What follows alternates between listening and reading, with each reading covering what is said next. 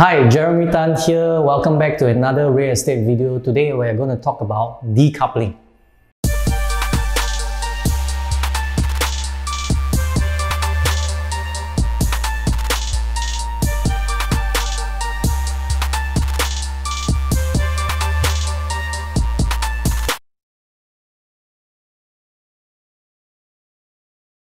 Decoupling or part share, a common term used in private property segment. So what does it really mean? Now, decoupling happens when one partner's share in a property is transferred to the other person.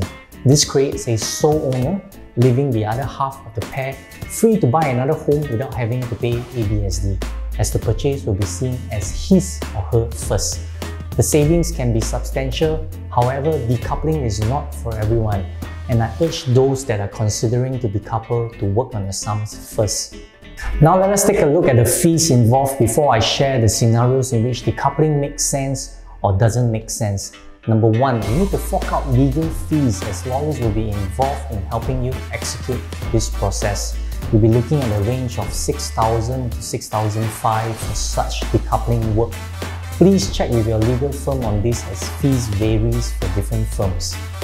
Let us take a look at scenario 1 where decoupling results in savings. Mr. and Mrs. Tan co-own a property together valued at $1 million.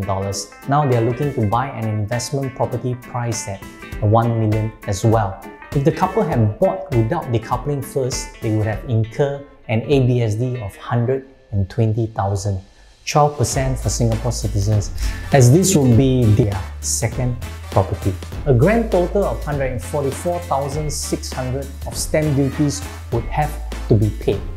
Now, if they had gone ahead to decouple and then buy the property, their outlay is only 9,600, which is the buyer's stamp duty on 50% share of their existing property. A BSD of 24,600 on the investment property legal fees of about 6,500. Their total outlay is about 40,700.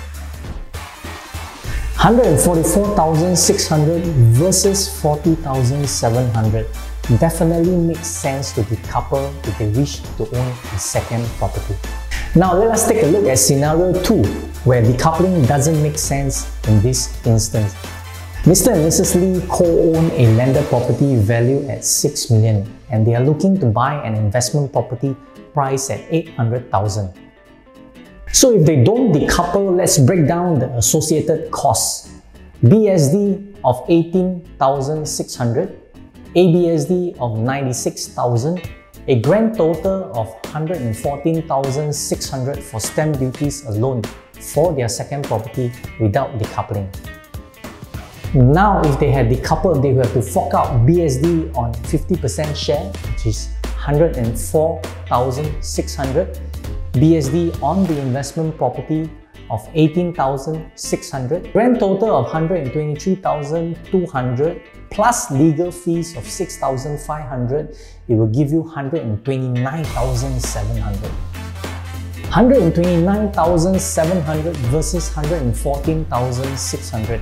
Decoupling actually costs more in this scenario, hence doesn't make sense to decouple.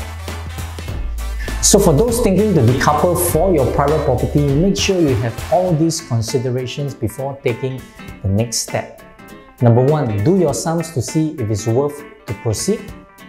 Number two, existing loan. Can the remaining party finance it? Number three, consider your CPF refunds, principal plus accrued interest. Now, what about HDB? Since 1st April 2016, HDB flat owners are no longer allowed to transfer their ownership to a family member except under these six special circumstances. Under this tightened regulation, changes in flat ownership are only allowed on grounds of marriage, divorce, death of an owner, financial hardship, renunciation of citizenship, medical reasons. So I've come to the end of my sharing today. Thank you for tuning in as always. What are your thoughts on decoupling? Are you looking to decouple and buy a second property? Feel free to add your thoughts in the comment section below. Do subscribe to my channel for more real estate content. Until then, see you in the next episode.